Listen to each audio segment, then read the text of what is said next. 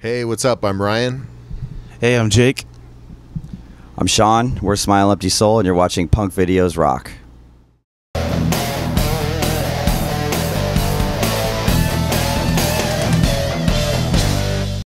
Hey guys, Rob here, Punk Videos Rock, hanging out with Smile Empty Soul. How's it going, guys? It's been a minute since we've seen you guys. We're, we're good, man. We're good. How, how's the tour coming along so far? It's good. We're this is actually only day four, so you know it's very fresh and new, and we're just trying to get into the groove of the whole thing still. But it's it's good. It's been fun. And this tour is actually for the new album, which almost didn't come out, right? Could you tell us a little bit about that? No, this one has, has always been scheduled to come out as soon as we uh, decided to start working on it.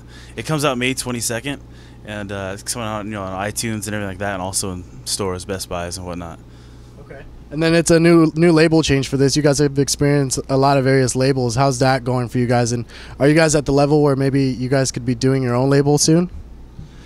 Um, we feel like at the last couple labels we were actually on, we were essentially doing it ourselves already. So we're actually glad to be on eOne, which we're on now, because uh, they're a little more supportive and uh, they they they back their artists a little bit harder than some of the labels we've been on recently, and Yeah. we're excited to see what they're gonna do.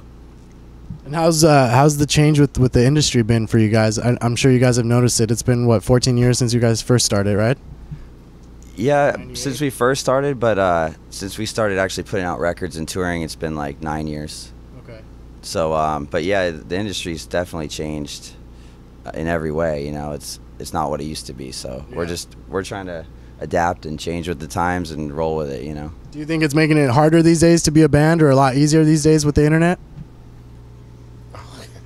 Uh, I think it, it depends. I mean, it, it's it's awesome for up and coming artists.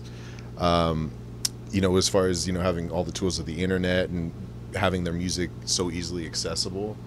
But um, as far as you know, getting out there and touring for for just a band that's still establishing themselves, it, it's I think it's harder now because there's so many bands out there trying to do the same thing, and it's yeah, it's it's still really competitive. Yeah, exactly. There's no money.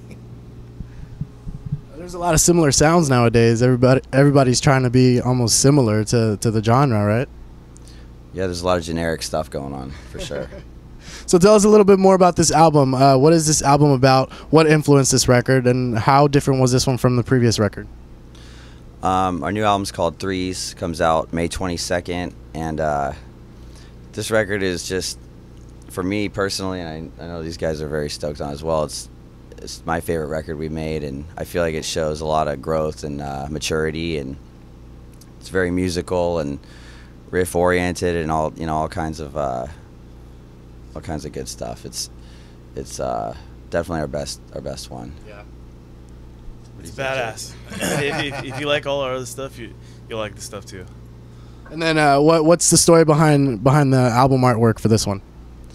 Um, it's supposed to symbolize and represent, you know, um, perseverance, rebirth, and uh, and uh, progression. I guess forward progression. You know, and we we all kind of just sat down with with uh, our buddy Chris Sahenic, who who does uh, some art stuff for us here and there, and we just kind of pow out on ideas and came up with a concept, and just he started chipping away at it, and he'd send us a little thing, and we'd make little changes and send it back, and you know, eventually we molded it into what it is now, and I think it turned out really cool, actually.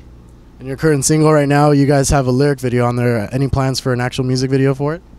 Yeah, we just shot the video, and uh, they just finished edit- editing the video, and turned out really good. Looks like a little mo- mini movie, and uh, I think they're going to be launching that with the album release. So look for it around the same time, 22nd. What more can you tell us about the music video? Sh- Shoot, I don't know. It was shot in Simi Valley, uh, California.